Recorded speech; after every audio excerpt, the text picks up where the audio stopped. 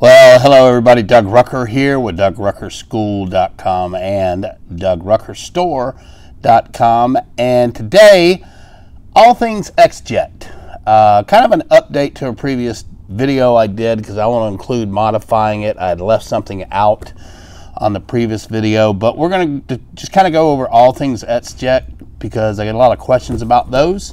Um, so we're going to go from unboxing one to uh, the various ways that you can install them, go over the proportioners, things of that nature. So stand by for XJet next.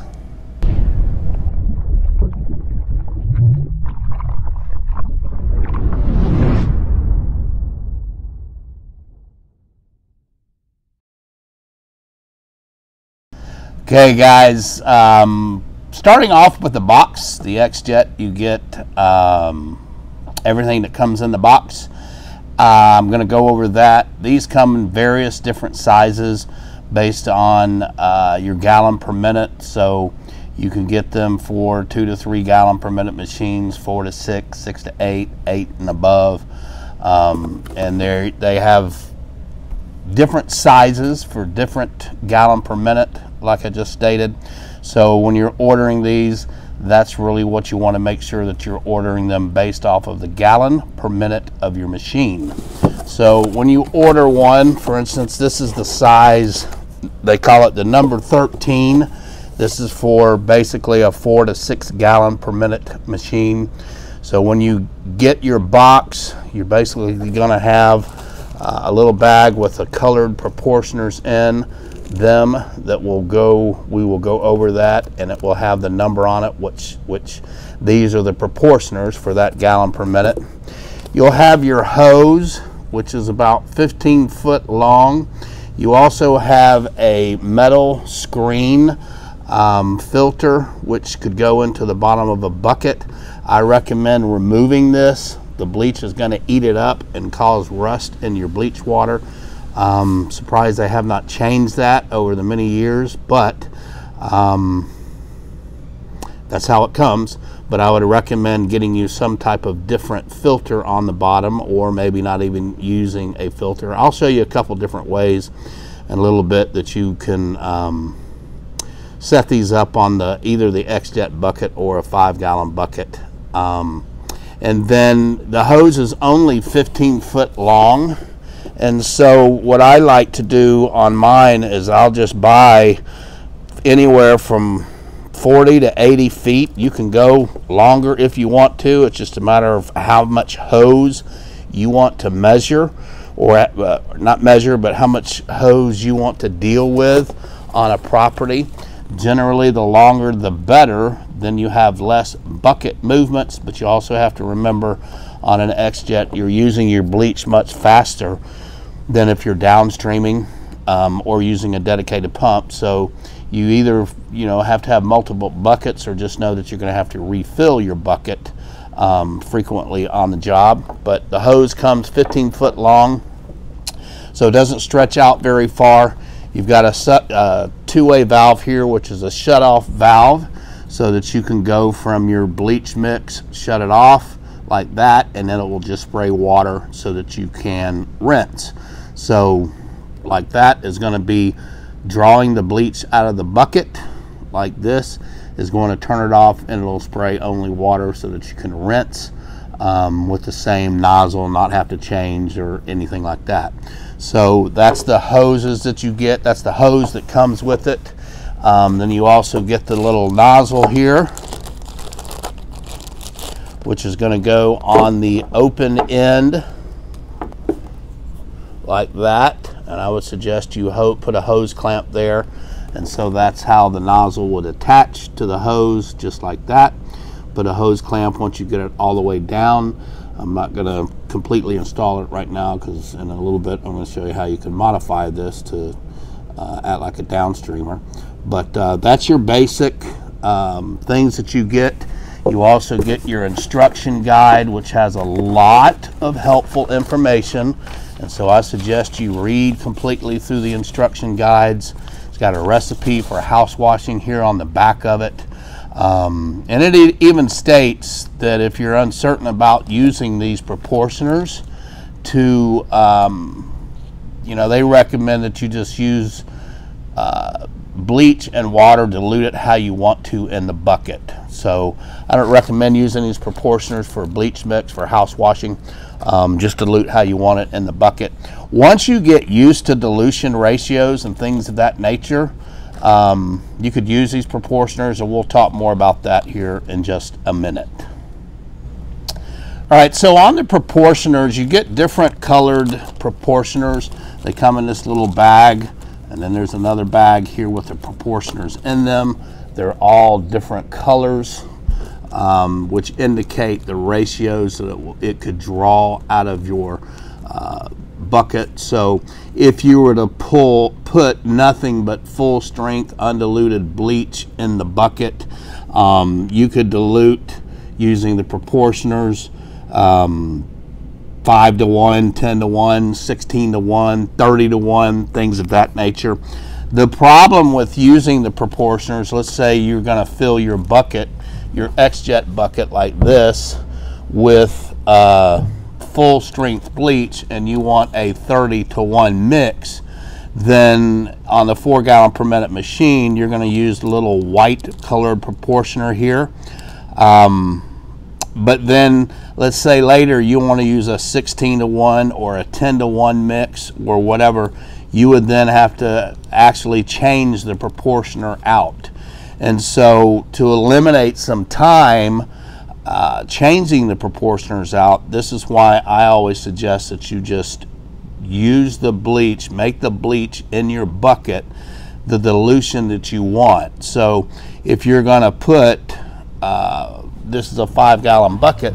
So if you're going to put two and a half gallons of bleach in here and then two and a half gallons of water, a little dab of soap, then you're going to be drawing pretty close to a 50-50 mix because with an X-Jet pretty much pretty close to whatever you dilute it in your bucket is what it's going to come out as. And so that would just save you a lot of time than having to change out these proportional proportioner inserts. These inserts are great for if you want to use it for degreaser or you acids or things of that nature um, and you want to get to a specific ratio um, but other than that I just don't see the need for them um, and XJet even recommends you know for house washing that you just dilute how you want in the bucket. So you can read through the instructions read about these proportioners decide if and when you want to use those but um, I've never used them and just don't see the need for them. But they're good to have for certain things. Um, as you grow your business and learn more about proportioning and learn more about dilution ratios um, and things of that nature. Okay, guys, when you if you do want to use the proportioners that they come with from this little bag, I've already pulled the little white one out. And so you've got the nozzle assembly that looks just like this and your proportioner is simply going to slide into the little hole right here on the bottom of the hose barb. And so you just kind of snap it into place and it'll sit. That's what it's designed for. Um, and then you're simply going to take your hose and put it over this and then that little proportioner is going to help to dilute your ratio according to the colored proportioner that you use. So um, like I said, during a house wash using bleach, I never use the proportioners. Um, it's recommended that you don't. Just go ahead and dilute your bucket, like I said in the earlier portion, and um, you'll be all set. These little proportioners come in a little bag. They also come in a, uh, which is actually inside a larger Ziploc bag. So make sure you keep those protected. Um, I suggest get you an old pill bottle or aspirin bottle or something real small that you can keep them in because you don't want to lose them. Um, just don't have them loose where they can fall out of something and keep those protected. But that's how you install the proportioner right on the bottom of the hose barb. Now, one of the things uh, I talked about a little bit, I showed it a little bit earlier. This is an X-Jet bucket. It's a five gallon bucket. Um, it's really designed for no spills. Um, it comes with a hose barb already onto the cap. And then what happens is going towards the bottom inside is a pipe, a little PVC pipe. And so it draws it up through that PVC pipe and then it sends it, when you hook this to here, you can, uh, it'll draw it up and send it on down to your gun. And so an X-Jet bucket, it's uh, basically a no-spill container. Um, I use these even for um, degreasers or anything other than um, just X-jetting because they're very sturdy buckets. They're very good buckets. Um, there's a vent hole on the back. This is an older style that has a black type um, where you can just twist it. But there is a vent on the back. It comes with a cap. And so you want to make sure you unscrew that cap. And you just, I just used to set it down in here um, when I use the X-Jet. And that allows the air to kind of push the solution. Otherwise, if you leave the cap on, what's going to happen is this bucket's going to suck in. So the air has to come in, be able to um, come back out, all that kind of stuff. Um, so just make sure that you're using that vent cap and don't lose it. Um, it's a big pain. Um, but if you've got the uh, X-Jet bucket, um, it's a great tool to have. I think they run about 40, 45 bucks, something like that. Comes already equipped with a hose barb and the drop tube stick in it. Um, and you can also fashion one of these or make one of these with a five gallon bucket, which I'll show you um, in this video as well. Guys, I told you I'd uh, show you a way you could take a five gallon bucket, make an X-Jet bucket if you wanted to do that. Um, the cool thing is you could use this for downstreaming too. You could also do the same thing on the X-Jet bucket with a little modification. But all you need to do is have a good lid, good bucket, and uh, you're just going to drill yourself a hole using a hole saw. Um, and I'm going to use a half inch bulkhead fitting just like you would use on a tank. And so you would basically put the bottom side uh, up through the bottom side of the lid so that the, the side with the big gasket that sits down on the bottom here, that always goes in the inside of your bucket or your tank. And then you take the little thin gasket it's going to go on the outside, on the top, and then you put the uh, little nut that swings, that uh, screws down on top and tighten it up. And then what you could do is get you a half inch by 3 eighths. So it'd be a half inch threaded by 3 eighths barb hose fitting. And you would simply screw that in, make sure you dope everything, um, and get, get get it oriented how you want it. And then all you have to do is use your 3 8 hose from the X-Jet to slide onto there, hose clamp it. Um, so that would take care of the top part of the bucket. And then for the bottom part, what you would want to do on the bottom side is just get you a, from Home Depot, a little stick of half inch PVC and get you a half inch threaded to half inch coupler PVC and you can actually just kind of screw that you can not kind of you can just screw this down into the bottom of the, the underside of the bulkhead fitting. PVC glue here and then you can connect that right there and then that will go on top of your bucket. And so now you've got your PVC going into the bottom of the bucket and you're using a five gallon bucket. What you may want to do is take either a small little drill and drill a small little hole into the top of the bucket so that air can get into it or you can use you can see this one I have not pulled the tab out yet um, but you could pull that tab out and pull push this up. It's the spout that comes on a lid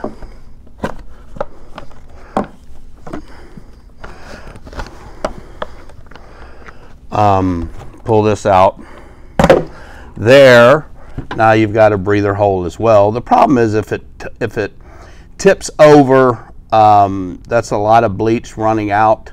Um, a smaller hole like the one that comes on the X-Jet bucket is better because if a little bit leaks out you can dilute it down pretty quick and not harm the grass Um, so either way, you could drill a little hole into the top of it. That way it gets air inside the bucket and doesn't collapse the bucket. Um, or use this. Now, another way that you could use this bucket is you could take your hose and if you get, I don't think the 3 8 hose is going to go through the, you could get like a 3 quarter inch piece of PVC and slide this up the hose and then use that inside the bucket but your bucket would need to be open or you could probably get it through the bottom here. So a few different ways that you can do an XJet bucket. Again um, I just think the best way is getting one of the XJet buckets for XJet because it just comes ready to use. I'm a big ready to use guy. Um, but if you make one out of the five gallon bucket, one of the cool things that you can do is you can go from a half inch hose barb up here, a half inch threaded barb to a quarter inch um, barb part. So half inch threads, quarter inch barb, and then you could use the bucket for downstreaming if you wanted to. So a few options, you just got to kind of think, you know, different ways you can use things, but um, that's how you would do a five gallon bucket uh, if you wanted to use it for XJet or one of the ways that you could do it, the easiest way I have found. Hey guys, uh, thanks so much for watching. Hey, if you're getting value, enjoying these videos, if they're helping you, make sure you hit that subscribe button. Also, uh, give me a like, and most of all, give me a comment if you have a question about anything. Uh, try to answer every single question that I can, and if I don't know the answer, I try to get the answer for you. But uh, hit that subscribe button, give me a like, hit that comment, and also hit that little bell. That'll notify you every time I come out with um, videos that could help you. Uh, also, don't forget, guys, we sell these soft washing hats. These are bleach proof. Um, and we also have shirts, long sleeve or short sleeve. So these hats come and they say soft washing or you can get it with pressure washing. These are the hats that I wear on a daily basis, just like that I've got my school on it. And we use these because they don't bleach out. They're also great advertising. So there's nothing like walking around, say what you do with nothing else on it. Um, get a lot of business off these going through Home Depot, Lowe's, um, even showing up to property managers' offices and things of that nature. It's funny to watch them get on the phone and intercom or whatever and say, "Hey, Doug Rucker's here," and you can tell they'll say, "Well, who is that?" and say, "That's the pressure washing." So anyway, just uh, great little tools to have, and uh, those are on our website. I think the hats are 25 bucks. I don't know how much the shirts are, 15, 17, something like that um, all different sizes, long sleeve, short sleeve shirts, soft washing hats, pressure washing hats, and shirts, uh, bleach proof. And the good thing about these gray shirts too is they don't really bleach out. This is the ash gray. Now, from getting bleach on it all the time, the threads, of course, will start tearing or whatever because you're weakening the threads. But great little inexpensive uniform, especially if you're just starting out and just want to announce to the world uh, what you do, because what you do is more important than who you are until people get to know you. So uh, I'm going to start talking about the XJet modification. I did a video on this a year, maybe two years ago, and it just absolutely blew up. One of the problems is I forgot to mention to put the orifice and the little spring back in, and so we had a lot of calls, a lot of people that would hook them up, and the water would start uh, flowing back into the bucket. And so I had to uh, either answer their question on YouTube to put the orifice and spring in, even though I put it down in the video description. Most people don't read the video descriptions, and I get that. But so I just thought I'd do another quick one here as part of the XJet, uh, all things XJet video. This, um, so it comes with the nozzle like this. And of course, you're normally going to hook it like this onto your hose barb and then it's going to go on the end of your lance and so when you're going around cleaning if I can get that uh, seat um, you're spraying kind of like this. And because this nozzle is down on the end here and the main part that's what creates a lot of pressure and a lot of mist um, a lot of people say you're soft washing when you use an XJet. Eh, maybe. If you're staying off the surface and letting it hit uh, letting your mix hit the surface soft. I guess you I guess you could say that. I would never use one of these for cleaning a roof. They just put out way too much pressure, either in this form or the modified form, like I'm going to show you. I know there's people that have videos on YouTube that use X-Jets for cleaning a roof, but I've seen many cases of shingle damage done because X-Jets have so much pressure they can literally blow the shingles up. Um, and if the shingles are weak in any shape, form, or fashion, it can just blow the shingles off. So please don't use an X-Jet for cleaning a roof. They're great for house washing.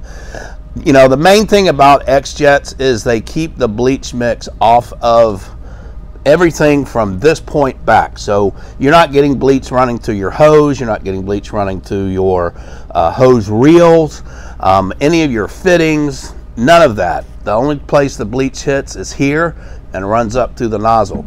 So that's that's you know a great benefit of them. It'll save you a lot of money on wear and tear.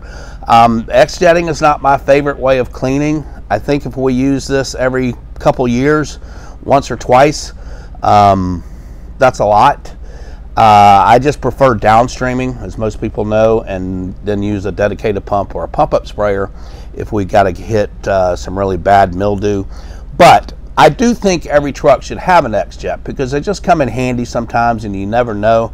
So we always have one available if we need it. Um, and so that's what I suggest. So that's how you would use it in its uh, simplest, um, original form of how you're supposed to use an X-Jet. Um, if you wanted to modify it so that you could use it and get less pressure, it's not going to be just like downstreaming, but it will produce less pressure, less mist, um, and allow you to use your J-rod nozzles that you use when you're downstreaming. You can do that. And what all you need is two quarter inch couplers. Um, bushings, whatever. One that's female pipe thread like this on both sides, and then one that's male pipe thread like this on one side, um, on both sides. And so you're simply going to, and I've already loosened these up, you're simply going to take your plug fitting off that's on the end, and out from there will come the spring. Out from there will come the spring and the orifice. And so the order that goes in is the orifice goes in first, and then the spring goes on top of that. So when you put it together, you got to make sure you put those two things back in. But we're going to take them out for right now, lay them down there. And so that's the order. Let's get it on the black here, maybe. Oh, right there. That's the order that it would go back. So you put the orifice back in, then the spring on top of that. So what happens is you take your gun off a little wand, and we sell these ready to use modified X-Jets. You can get those on our site, or you can just buy, if you've already got an X-Jet, want to modify yours, we also have these fittings that you can buy. I think they're five or six bucks or something if you just want to modify yours. Very easy to do. Um, we charge 165 bucks or 175 or something like that if you want us to send you one ready to use, which comes with the gun, the wand, um, everything built, ready to go. Okay, so all you're going to do is take the male pipe thread fitting, and it's going to go into the gun like this. And of course, you want to Teflon tape everything. Use a little bit of lock seal. We have lock seal available also on our site. And then take the nozzle off. I've already loosened it. When you get this, when you get this set up, and you go to take these off, they've used permanent lock seal to attach this. So it's very hard to get off. So you've got to make sure that you're on it. You've got a really good strong vise and a really good strong wrench to get this off.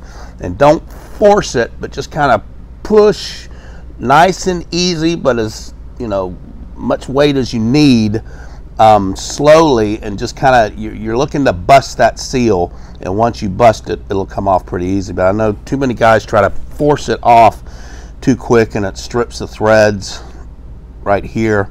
Um, so just make sure you've got a good wrench and can get some good torque on it. But anyway so you're going to take this off and then that's what you're left with. And so you put your orifice back into here let it go all the way down And it's the pointy end goes in first. Then you put your spring in. And then that little piece is going to screw right onto that adapter. Just like that. And then you've got this piece, which is the female threaded quarter inch coupler.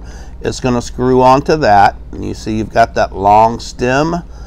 So that long stem that's coming out, it's okay for it to stick out. It's not going to hurt anything because it's just going to go right up into your wand. And you screw that part on. Screw your wand on like that. Of course, again, Teflon tape everything. And then you're going to put your hose to your uh, X-Jet the X-Jet hose right onto that, clamp it down. And now you've got a modified X-Jet gun that you'll be able to use your J-rod that you would normally use for downstreaming. And you'll get less pressure. It'll be closer to downstreaming. Um, with less pressure, you can use your long range nozzle, your soap nozzle, your cleaning nozzle, whatever you need. I suggest that you leave you know, it, it, leave your little two-way valve on here because you can still turn this on and off. By the way, if you decide to replace your hose, like I mentioned earlier, you're looking to get 3 8 poly braided hose, cut this out and insert it into your new hose about the same length down. I think it's two two feet maybe. I don't know. But get this, you know, to where it's comfortable for you to reach down and turn this on and off. I usually put mine about right here where I can easily grab it. Um, of course, based on how long, how much I use it, um, which is not very much. But anyway, uh, I usually put it right there where it's easy to get so I don't have to reach down and pull the hose up and then turn it off or whatever. But that's basically uh, how you modify your X-Jet so it's like a downstreamer. Um, very easy to do. Like I said, we have the fittings. If you already have an X-Jet, excuse me, you can go ahead and modify your own by just getting the two little quarter inch fittings that go there. Um, separate this piece. Be sure to put the spring and the orifice back in and you're good to go. Now, these are these X-Jets are rated for PSI as well. So one of the things that cause problems if you've got a 4400 PSI machine and it's a four gallon per minute, um, too much PSI can sometimes force water back through the hose barb. Um, not having the orifice in there can force water down through the hose barb. Read your instructions. They have a frequently asked questions or a little chart on there um, that tells you, you know, different problems that could happen, water coming through here or the orifice where it's not spraying the bleach. It could be trash in this part. Um, so read, read, read your instructions. I know we're men, we don't like to read instructions, but read your instructions so you know how to operate this and you know any type of possible problems that could arise, how to fix those, um, things of that nature. Okay, so that's how you modify the X-Jet. Again, we sell these already modified, built like this. Doesn't come with the J-Rod, but that's how basically it would come. Um, I don't even think we sell the hose with it. No, we don't. We just sell it like this so you can go get your own uh, hose at Home Depot or Lowe's, or we have poly braided hose on our site as well.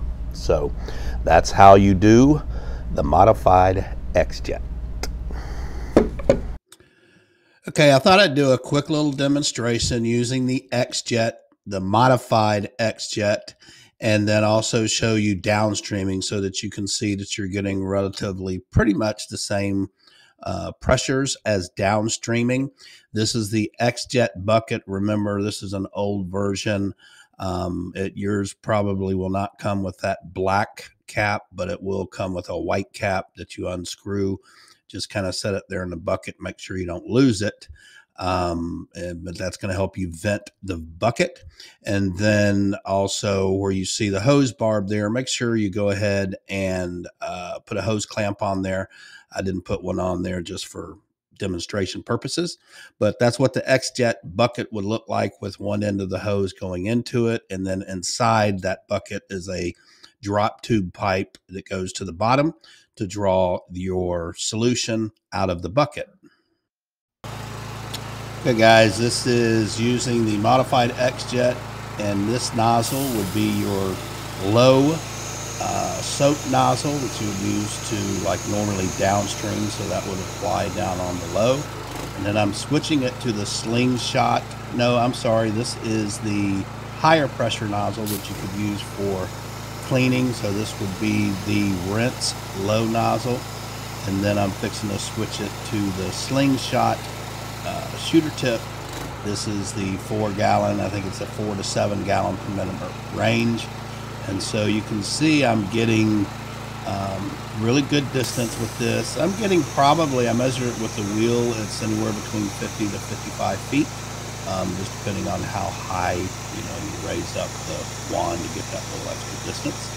But that's great distance for uh, using the X-Jet. Actually going to be a little bit more distance than you get with the uh, downstream, when you're downstreaming, um, just a little bit. And then there I switched the uh, little two-way valve off to turn the soap off and go to rinse water. And uh, I like I like keeping it real close, so it's only a few inches down off that hose. But that's the kind of pressure you get when you're using the modified X-Jet. So, guys, I am using the four gallon per minute uh, hurricane pressure washer. This is the where I'm hooking up now to downstream. I've hooked up the bypass downstream injector, running my siphon tube into the tank itself. So, all you do is remove that cap where the X Jet was hooked to uh, the 90 degree hose barb.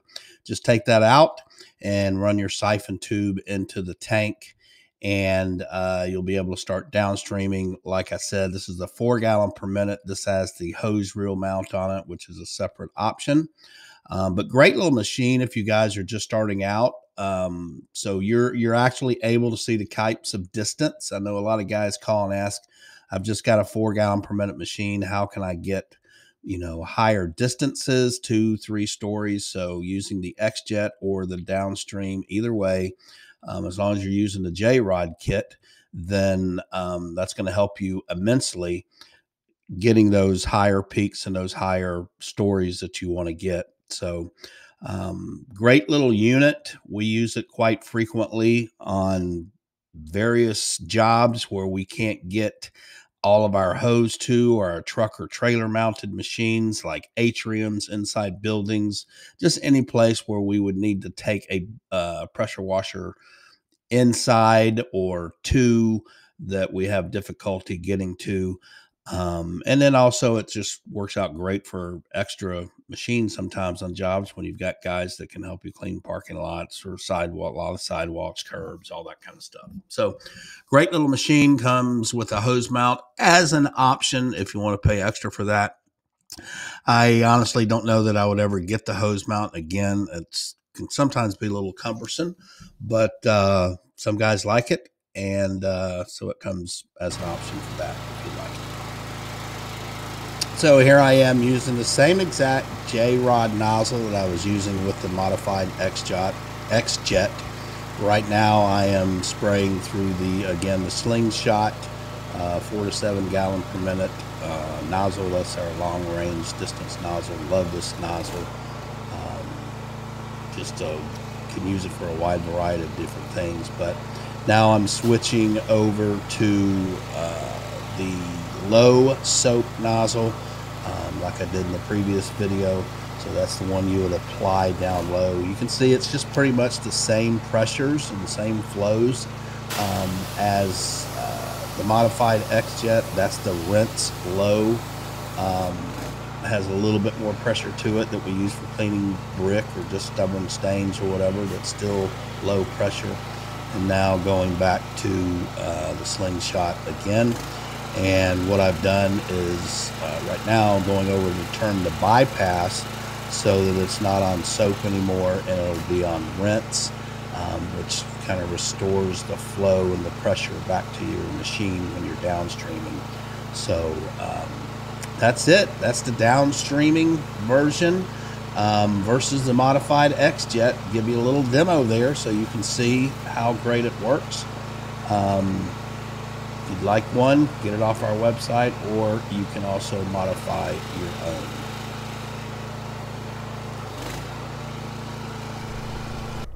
Okay, guys, that's pretty much it on X jetting. Um, just some basic information that I wanted to uh, get out to you.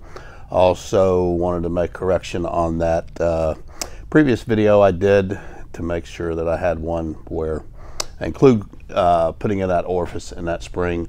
Hey, if we can help you in any way, uh, be sure to leave us a, a comment down below. Don't forget to subscribe, hit the bell leave a like, leave a comment um, for us. That'd be awesome. And don't forget uh, DougRuckerStore.com. We've got all your all the supplies that you could need, um, machines, guns, wands, basically everything that I use is what I sell. Um, so.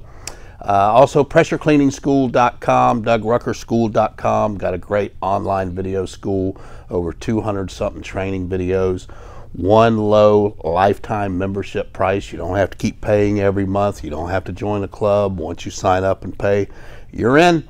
You get access to all the videos that are there now, as well as anything that I post in the future on there. And I continually post a lot of videos for training. So, um, thanks so much for watching. Hope you guys have an awesome weekend. Today is Saturday. So, uh, have an awesome weekend, and we'll see you again soon.